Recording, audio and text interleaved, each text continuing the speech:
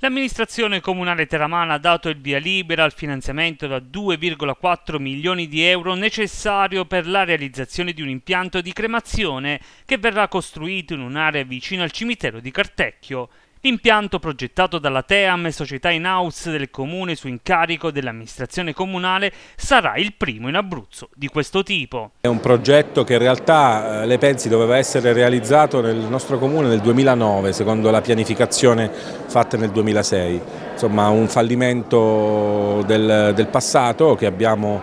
eh, ereditato, abbiamo dato un cambio di rotta, abbiamo fatto l'affidamento dei servizi cimiteri per 15 anni e quindi dato prospettiva Abbiamo riaggiornato il piano economico finanziario del, dell'impianto di cremazione perché ovviamente, ovviamente, doveva essere attualizzato rispetto al, al 2006 e ovviamente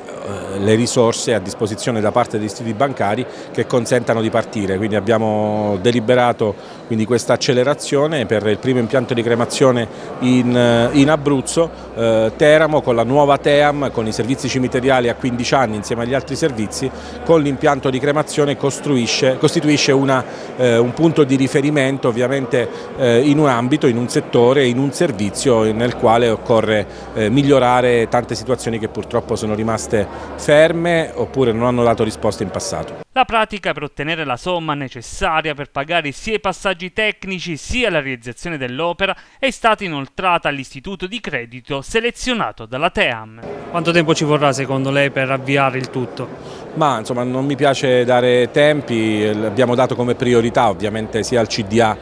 della TEAM, indirettamente agli istituti bancari a cui abbiamo chiesto il, il finanziamento, noi siamo pronti, il progetto è esecutivo già eh, con un piano finanziario definito, quindi si tratta semplicemente di avere l'ok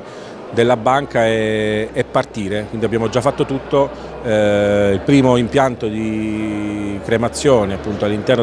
non solo della nostra provincia ma della, della regione, quindi vogliamo che si realizzi a termine.